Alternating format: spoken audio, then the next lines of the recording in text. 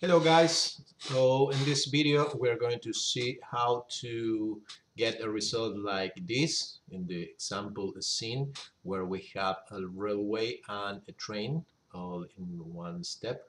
Uh, I'm going to explain how to get this result and we're going to check out how we can animate it and how we can move it in order to get um, the train more interested. Interesting. So um, let's start. We're going to start from scratch. The first stuff you need in the scene is the railway manager. The railway manager is the one which is actually managing uh, the the prefabs uh, that are uh, actually the railway and the train itself so I'm going to delete this one uh, this stuff here I'm going to show uh, each step. Uh, I'm going to, to fill this information again in order for you to, to see how to set up your own train with the battle train Centurion carriage so we set this to zero we're going to fill our the first thing we have to know is that whenever uh, in this this version uh, you can add more than one wagon. And so when we set this to one and we could say that's two for example uh, in the future it's going to be more wagons. So uh, I set it to one. Then I have to assign here uh, the prefab of the wagon, the battle train Centurion. I have it here in my folder prefabs. Uh, set it to wagon and uh, si size ref. The size ref is a part of the prefab which tells the manager how wide is the wagon in order to uh, set the position for each wagon in the train so I'm going to assign the wagon base here in size ref then we have this uh, variable copies. Uh, it has to be at least one to be one wagon. And then railway engine uh, we're not going to check that uh, out. And fixed space. Fixed space uh, means that whenever it is one it takes uh, the whole measure of the width of the prefab uh, as the width of the wagon. So if you set this fixed space into 2, it would take uh, uh, two two times two times the width of the wagon. Uh, let's show. I, I, want to show that. You, yeah, for example, uh, let's say you have the wagon. This piece, the wagon base, is just this, this one is the one we use to uh, to tell the manager how uh, why the wagon is. So let's say that I, I put uh, number two this is simply a multiplier. Let us say 2 it would be 2 times the y. So I set it to 1 and then we have this uh, mode in which we assign the wagon to uh, a particular spline. We can set up to two splines at the same time um, by now but it will be more plans uh, later. And railway okay this uh, with this we're going to uh, I'm going to turn this off because if not the manager will not work properly. And I would hit uh, I would press uh, play in order to see the result. I have just one wagon. As you can see the, this wagon is going through the path of the spline. Okay so let's say I want more wagons for example. So I just have to uh, I only have to to change these copies to 5 for example and I press play again. And let's see the results. And there you have uh, you have a train of uh, five carriages um, carriage. So uh, sorry for my English set it up. And let's say for example you like to change the color you can you can do that actually. Uh, you have two ways of, of changing the color uh, well actually you have three but uh, there is a color picker in the UI uh, you may turn this off. And in the rail manager there's a, a section for the variable color train color which you can change the color of the whole uh, whole train. If I hit play let's see. I have my train in green color but if I open my railway manager I'll see the stages you know the instances sorry of uh, of the carriage. And the instances each one has uh, a script called train color uh, which can be changed and can actually tweak each um, wagon individually so that would be suitable if you want to change the color of some of the wagons and not all of them for example. And okay let's say I want to add a, a, railway now because you have a train and you want your train to be in a railway. So what you have to do is you go into railway um, array I'm going to say to, to 2 this railway uh, is to assign the prefab of the railway itself. I'm going to show you this this is um, uh, made by two pieces and one piece for you know uh, this is a single piece of uh, uh railway in which you have this the, this cross piece and you have the railway itself and a, a support for a you know for a kind of a structure uh, like it was like a kind of bridge. Uh, it was uh, suspended into the air so you have this stuff. I'm going to show you the wire which is the, the one that is going through the, the stage. So I'm going to use two of these uh, prefabs in the manager.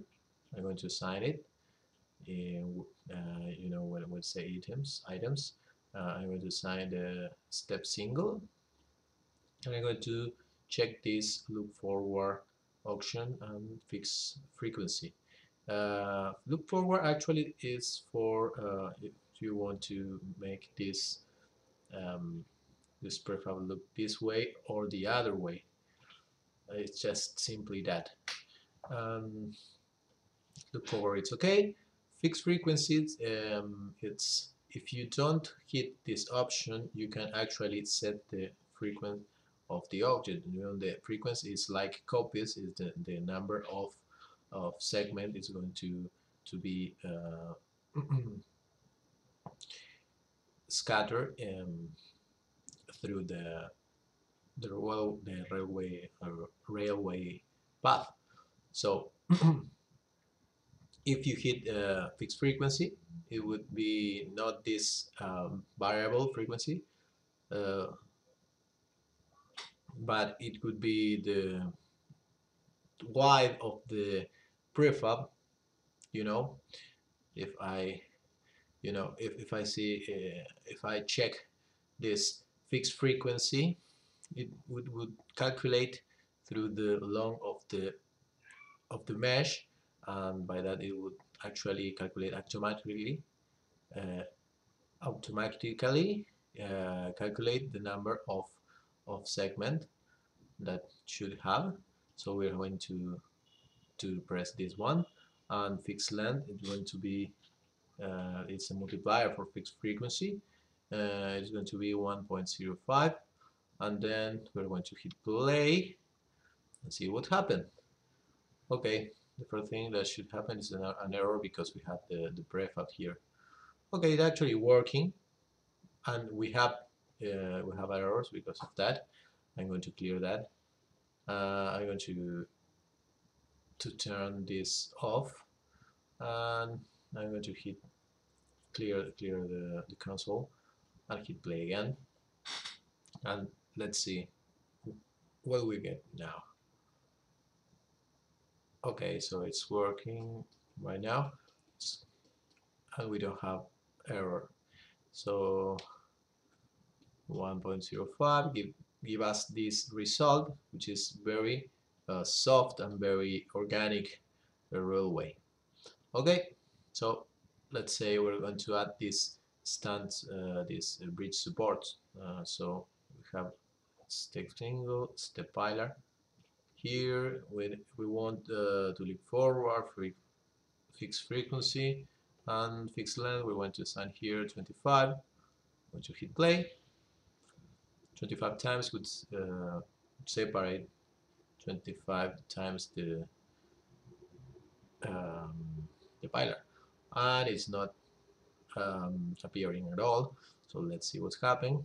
You know you have to assign at least one in frequency to uh, for this to to construct the, the railway. So I'm going to save it and I'm going to press play and uh, and check it. Let's see what happened okay so here we go. We have the the railway. We have the spline which is uh, driving the the railway. We can in runtime uh, modify the the railway itself the proportion and see what happened. And then we could simply copy the component. Let's say for example I want to change the, the shape of it I'm going to change it just a little bit. Uh, copy the component. I'm going to paste it as value. Oh sorry I, I just forgot to to copy the component in runtime so I'm going to do it again. So just hit play. Select my point. I'm going to change the shape just a little bit. And I'm going to hit the copy component uh, option. Then I just passed into a component value and that's it. And I can actually modify the shape of my spline. Another interesting thing you can actually reset uh, the spline. If you want to set the you know the the shape you can uh, scale it and set new values to it you can actually add more points.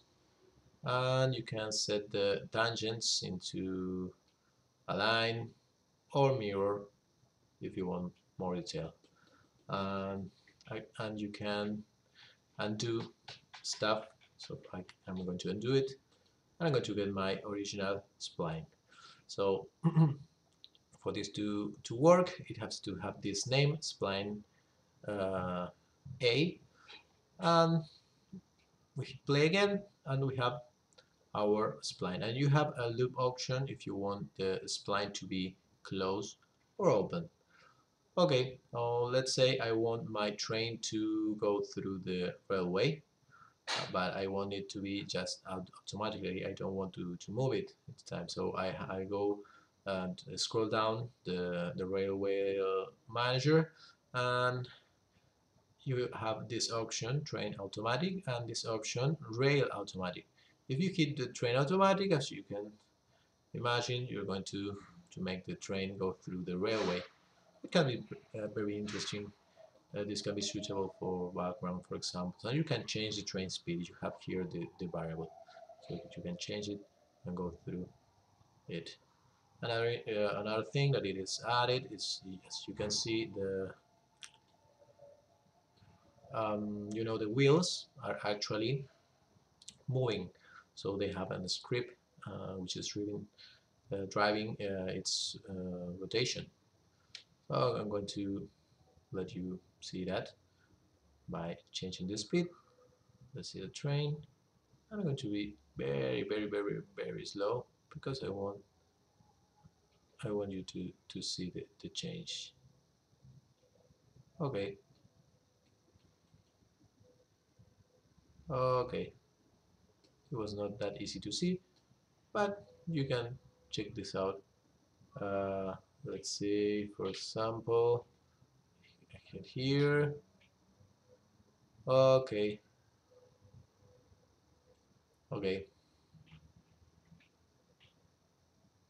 Okay you can see here the actually the, the train the train wheels. Okay, and one last thing,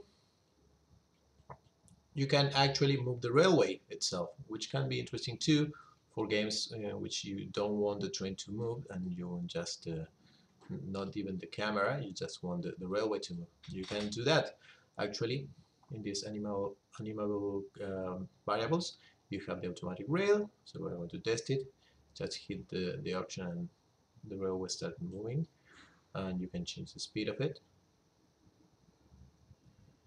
and another thing is that if you if you don't move the train because you don't want to move it while you're moving the, the railway you can see that the, the, the wheels are actually moving so it is adapt to this uh, motion motion of the rail the motion of the train it is all in one single script so the wheels will drive them. Okay so that's it for now I hope uh, you like it and uh, you find it very useful for your games.